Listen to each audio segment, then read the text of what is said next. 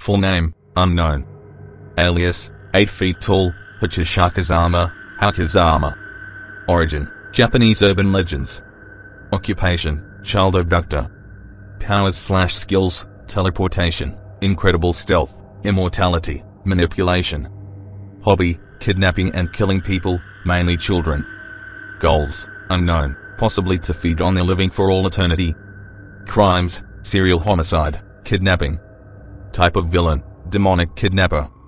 Description, 8 feet tall, Hachishakusama, also informally called Hakazama, is a type of Japanese spirit, a yokai, that takes the form of an impossibly tall female spectre often said to have a deep, masculine voice in which she repeats the interjection po repeatedly, and a habit of preying on children.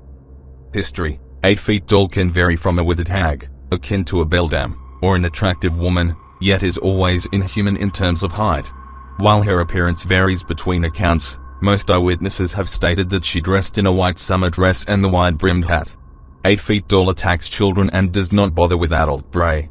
This is said to be due to the fact children are still dependent on older family members, which 8 feet tall can mimic in order to lure her victims away.